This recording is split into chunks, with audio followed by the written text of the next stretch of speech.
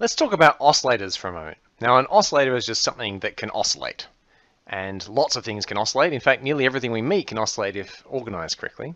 Here are just three things I found that people had left around my room. And if I tap them,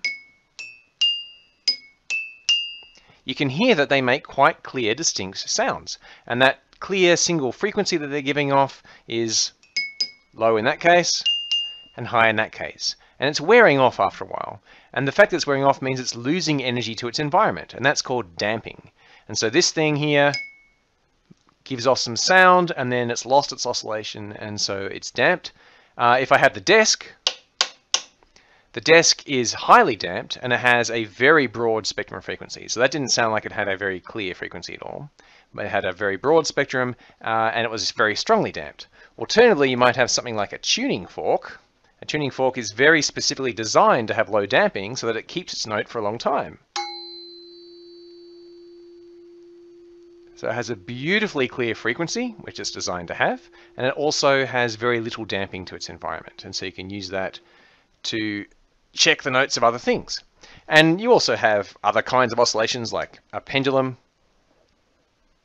which can oscillate for a while, and it'll eventually get damped as well, in this case largely because it's losing energy because I'm not holding it too well with my arm, and so it's losing energy to my arm.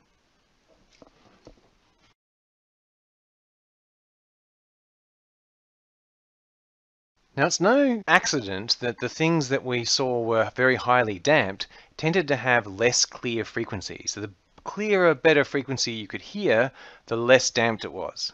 That's easy to understand if you look at the wave for a very clear frequency. Remember, as we go along in time, a very clear frequency looks like a sine wave. And if you have something that's really highly damped, then it doesn't look like a sine wave.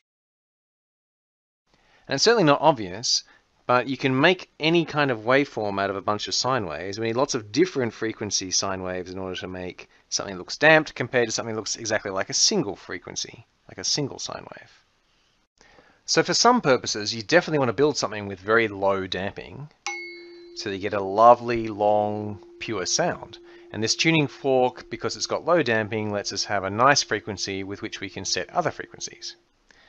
But sometimes you want to build something very deliberately with high damping, and that's because the coupling of energy between an oscillator and the environment can go both ways. For example, take a swing. So if you've got a swing, if you push this at one frequency, that's not the correct frequency for the swing. So its natural oscillation frequency might be particularly slower than this. And it doesn't matter if I push it really quite hard if I'm pushing at the wrong frequency. But if I look, okay, that's the frequency it has naturally. And if I tap it with that frequency, I get very big oscillations very fast. So I couple energy from my environment to an oscillator much, much better as at the particular natural frequency of that oscillator.